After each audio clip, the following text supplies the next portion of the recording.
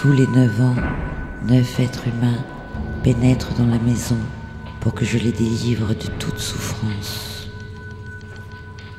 J'entends leurs pas et leurs voix au fond des galeries de pierre, et je cours joyeusement à leur rencontre.